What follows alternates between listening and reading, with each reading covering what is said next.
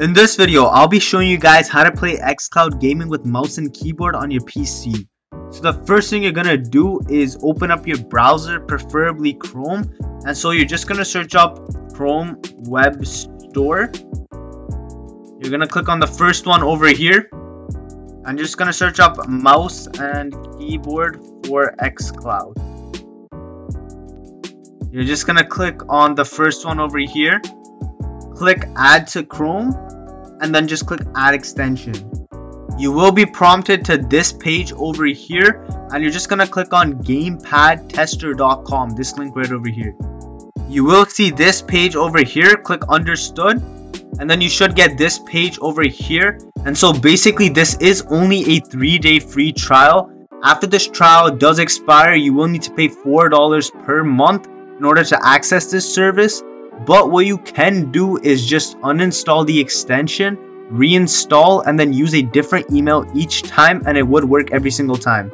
So what you're to do now is just enter in your email. So I'll be back when I do that. Once you've entered in your email, you do need to confirm it. So you're just to go to your email and then click the confirm button. So I'll be back when I do that. Once you confirm, just search up xCloud and then click over here and you should see this page right over here. And you will see a sign in button over here and a sign up. So if you have an account just sign in. If you don't sign up. And what you're gonna do here is just click on any one of the games. So i'm just gonna click on fortnite over here. Click on play. And you will see this page saying let's get ready. You may experience quality degradation or gameplay issues. And this is important. It says controller not detected. But just ignore this and click continue anyways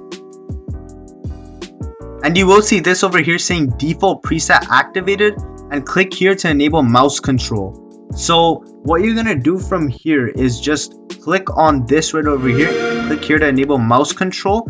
And so now what it does is every mouse key that you click will be translated into a controller key. So to see which one's which, what you're going to do is click escape. You're going to click on this right over here scroll down until you find or scroll up until you find the actual extension over here. And then you're just gonna click on the extension button right over here. And now you can see which key is actually which. So it's telling me to click the A right over here. And it says that the A button is space on the keyboard. So if I go back and click click here to enable mouse control and then click space you can see that it works that I clicked A and I clicked done and it says here to click A again. So I'm just gonna click space again and as you can see it does work. Or you're gonna click A again. And as you can see all of that works.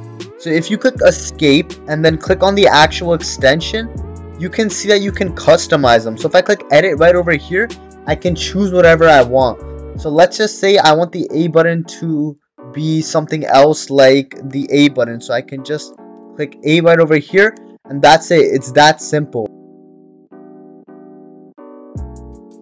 Anyways I hope this video did help. If it did please leave a like and subscribe. Thanks for watching